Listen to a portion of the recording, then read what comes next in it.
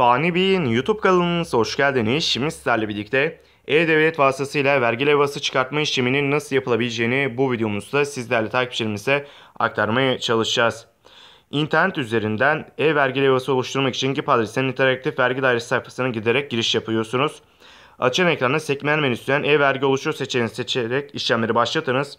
Vergi levhası bilgilerini seçeneğini tıklayarak e, sorgulama işlemini gerçekleştirebilirsiniz. Yani siz de e-Devlet'te vergi levhası çıkartmak istiyorsanız, vergi levhasını oluşturmak istiyorsanız ekrandaki adımları takip etmeniz gerekiyor. Tabi bunu E-Devlet üzerinden değil de E-Devlet'te giriş yapıp interaktif vergi dairesi üzerinden kolaylıkla gerçekleştirebilirsiniz. E, vergi e, levhasını bu şekilde çıkartabilir. Onun dışında tabii ki vergi dairelerine giderek de yine kendiniz e, direkt olarak çıktı olarak da vergi levhasını çıkarttırabilirsiniz. Videomuz bu kadardı. Umarım videomuzu beğenmişsinizdir. Videoyu beğendiyseniz aşağıdan beğen butonuna tıklamayı unutmayın. Kanalımıza abone değilseniz lütfen abone olun. Bir sonraki videomuzda görüşmek üzere. Hoşçakalın. Kendinize iyi bakın.